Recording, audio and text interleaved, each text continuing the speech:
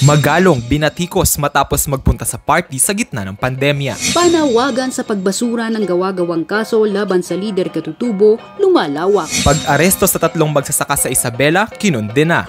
Cordillera, balik GCQ. Pamilya ng human rights advocates patuloy na ginigipit ng militar.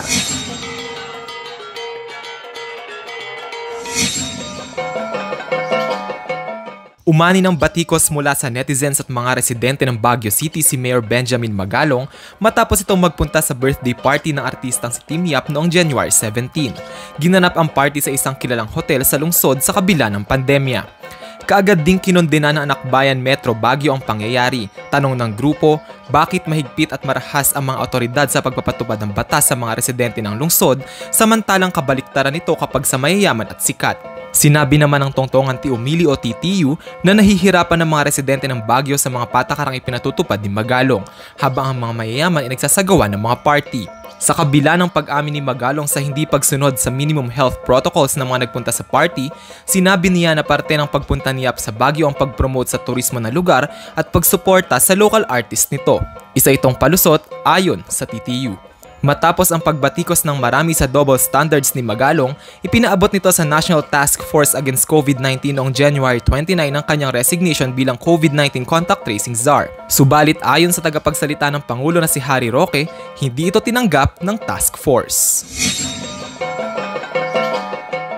Lumalawak ang suporta sa panawagang ibasura ang gawa-gawang kaso laban kay Windel Bulinget, chairperson ng Cordillera People's Alliance, kabilang ang apat na pong organisasyon at ilang individual sa Hong Kong. Kinunden na rin nila ang shoot-to-kill order na ibinaba laban sa kanya. Kinunden na rin ng Hawaii Committee for Human Rights in the Philippines ang legal attacks laban kay Bulinget. Nauna nang kinundena ng Frontline Defenders ang judicial harassment kay Bulinget. Bago nito ay ilang lokal na organisasyon, tagapagtanggol ng karapatan at kalikasan ang tumulig sana sa pagkaso kay Bulingit. Napilitan siyang pumunta sa NBI upang masiguro ang kanyang kaligtasan habang hinaharap ang kasong murder na ipinila ng pulis sa kanya.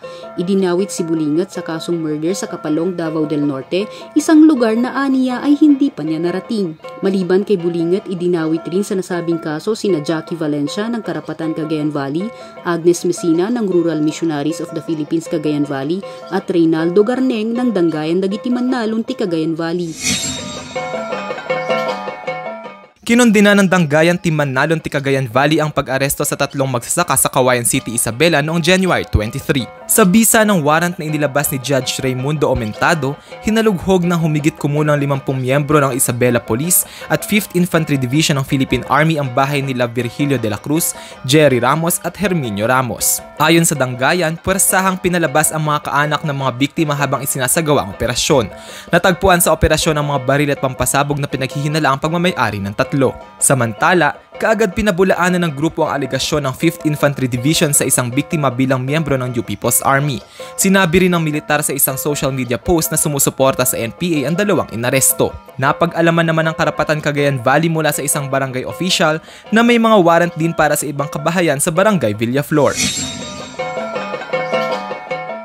Ibinalik ng National Interagency Task Force sa General Community Quarantine ang buong rehiyon ng Cordillera matapos ianunsyo ng Department of Health na 13 sa 16 na bagong kaso ng UK variant ng coronavirus nitong Enero 22 ay nasa rehiyon. Labindalawa sa nasabing bagong UK variant ay nasa Bontoc Mountain Province at ang isa ay sa La Trinidad, Benguet. Nagpadala ng karagdagang contact tracers ang DOH sa Bontoc upang tumulong sa pinaigting na contact tracing. Nagdagdag naman ng mga bagong temporary treatment and monitoring facilities ang lokal na pamahalaan ng Bontoc. Nakipag-ugnayan din ang lokal na pamahalaan sa national line agencies para sa ayuda ng mga apektadong pamilya. Bago pa nito, dineklara na ng DOH na nasa high-risk epidemic level ang Cordillera bunsod ng biglang pagdami ng COVID positive cases sa ilang bahagi ng rehiyon.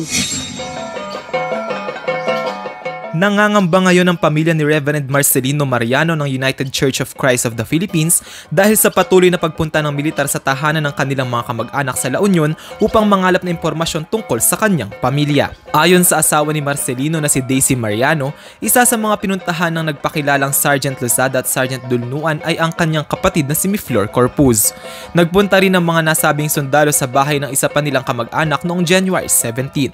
Dagdag pa niya na bumisita rin ang mga militar sa bahay ng isa isang barangay council member na kanila ring kamag-anak noong January 21 upang hanapin ang kanyang anak na si Jenny Beth.